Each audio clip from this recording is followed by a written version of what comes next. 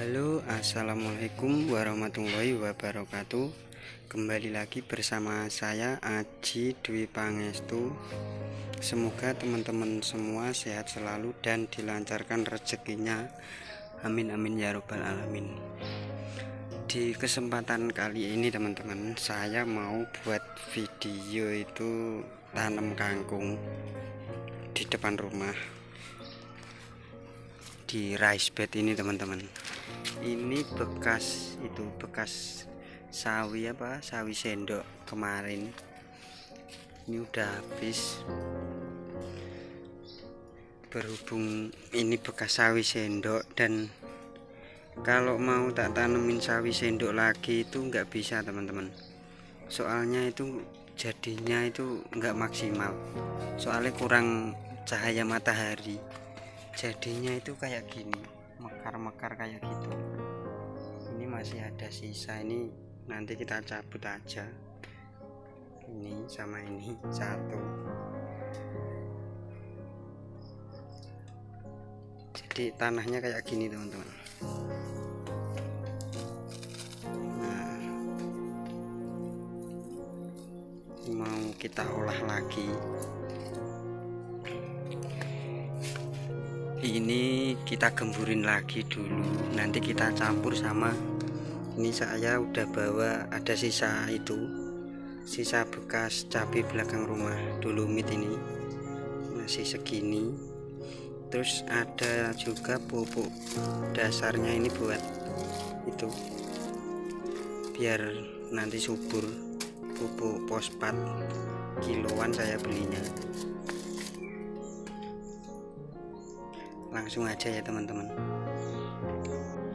Nah ini setelah kita gemburin kita langsung sebar lagi itu apa dolomitnya sama pupuk fosfat ini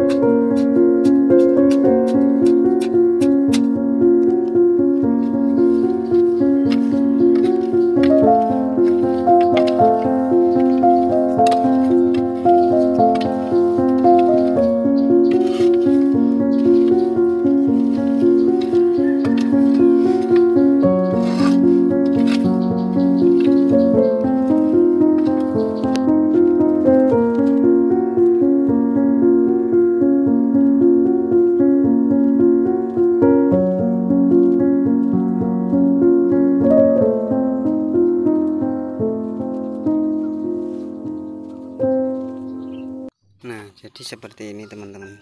Kalau saya tanamnya saya nggak tahu aturannya tanam kangkung itu kayak gimana ya.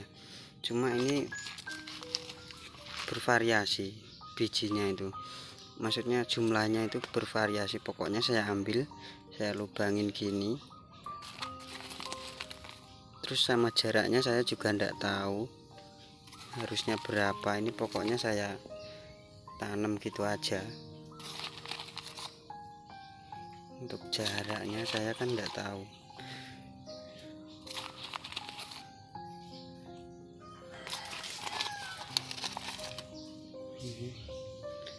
Pokoknya ambil lah.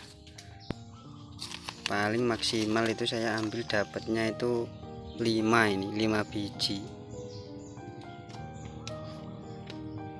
1 2 3 4 5 6 6 biji ini tadi. Jadi bebas kayaknya teman-teman kalau kangkung itu. Kadang ya enggak di kebun yang luas juga ini cuma di halaman rumah. Jadi ya bebas saja teman-teman. Menyesuaikan tempatnya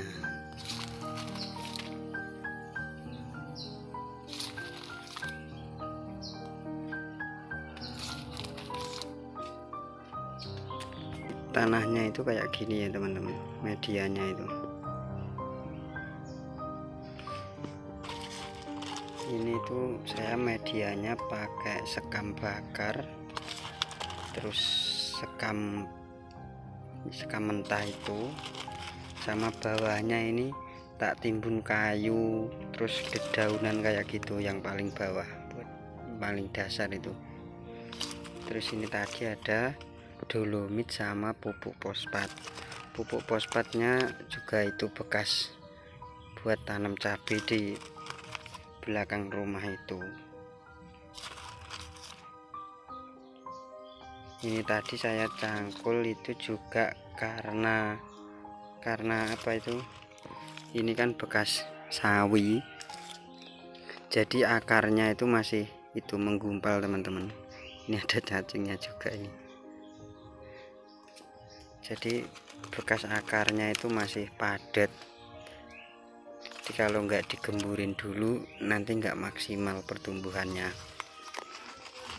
Selesai teman-teman. Tinggal kita ini tutup aja. Kita giniin tipis-tipis itu aja.